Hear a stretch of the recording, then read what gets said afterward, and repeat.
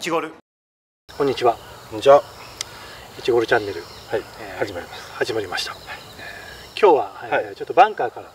はい。まあバンカーって言っても通常のバンカーではなくて、えー目玉？っ目玉？てわかります？目目玉ってなんですか？そうですよね。目玉っていうのははい。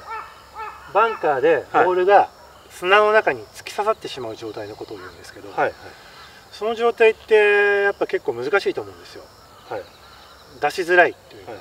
そこを今日は一発で出せる簡単な方法をちょっと菊池さんに教えるので、本当ですか？はい、結構目玉はあの難しいんですよ。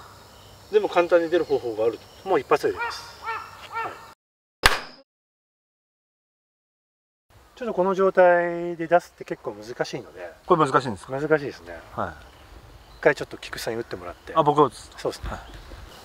い。つも通りですかね？いつも通りで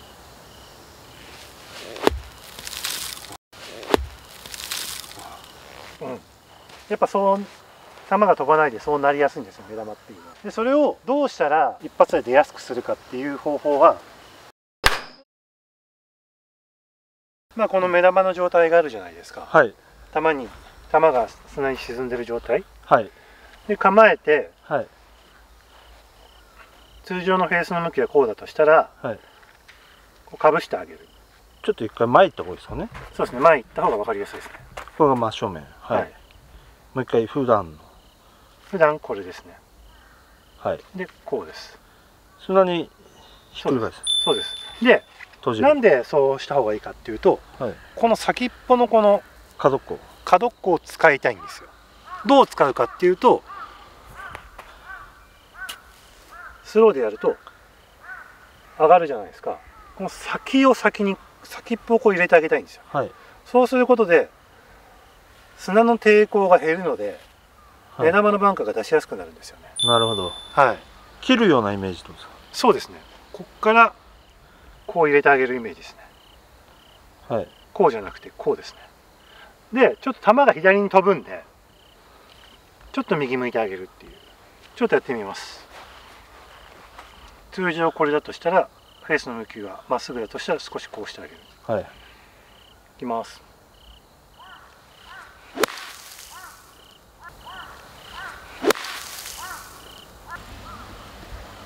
なるほど。簡単に出ますよね簡単に出ますね。はいじゃあちょっと菊池さんもちょっとトライしてもらってマジですか？はいできますかね？握りは短め？握りはちょっと短めがいいですね短め。はい。で通常よりも触っちゃいけないね。そう触ったら通常よりももっとこう。そうですそうですそうですでこれ球の位置ってはい左足の前とか右足の前とか真ん中がいいです真ん中がいい。はいであんまりスタンス広くしなくていい。そうですそうですでこれで通常通り打てばいい。はいで左に出てくってことですよね。少し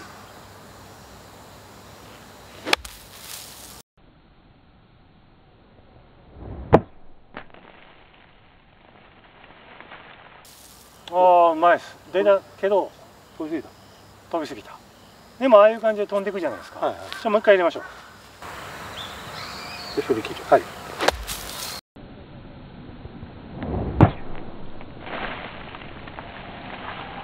おおめっちゃうまい。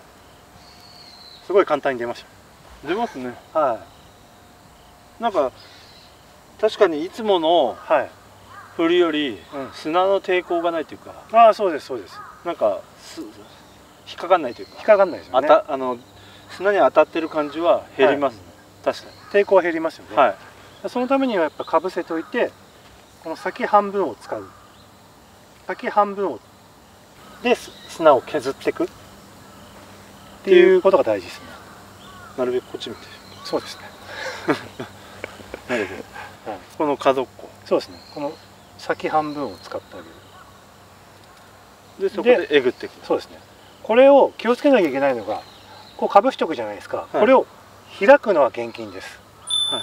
そうするとせっかく閉じてんのに開いちゃったら抵抗がまた増えちゃうんでもう閉じたまんまこう持ってくそのまま持っていく感じですね。フォローにクラブヘッドが行った時にうん。そうですこうなってる。こうなってないとダメですね。はい。もっとまあでも今できてるんで、はい。合ってます合ってます。はいあじゃあここまでちょっといつもよりもう完全に尖らせて。そうそうです尖らせて。もう先っぽで砂を削っていく。っていうふうにすれば目玉は一発で出ます。はい。じゃあこの後にちょっと市原さんのはい。バンカーショットそうですね。撮ってはい。見てもらえるようにしますかね。そうですね。ちょっと参考にしていただければと思うんでちょっと見てください。最後まで最後まで見てください。よで気に入ったらチャンネル登録と高評価もよろしく。お願いいたしますよろしくお願いいたします。いちごる。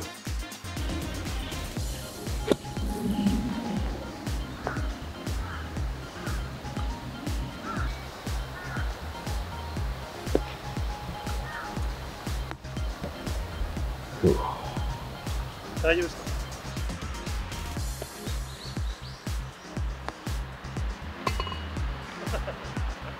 え？